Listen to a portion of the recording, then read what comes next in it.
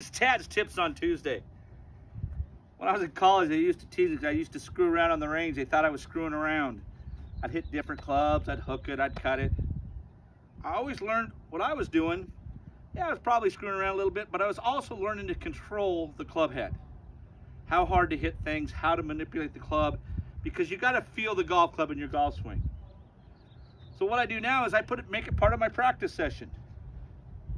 I'm gonna aim at that red circle, my sandwich.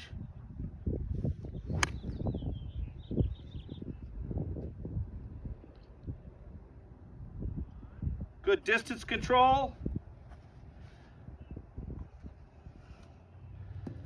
I'm going to take a seven iron, open my stance, choke it down, make sure I still rotate.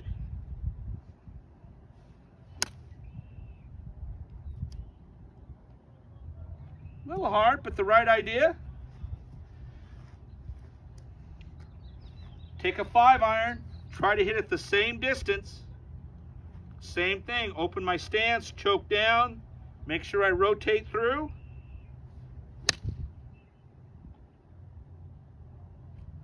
Same distance as my seven iron. Learning to control the distance of every club. Whether you're in the trees where you have to hit something low, hitting a five iron 100 yards or a seven iron 100 yards and practicing how high that ball gets, you'll understand it and improve a shot on the golf course here and there. It's helped my game. I'm sure it'll help yours. This is Tad from Timberstone, 208 639 6900.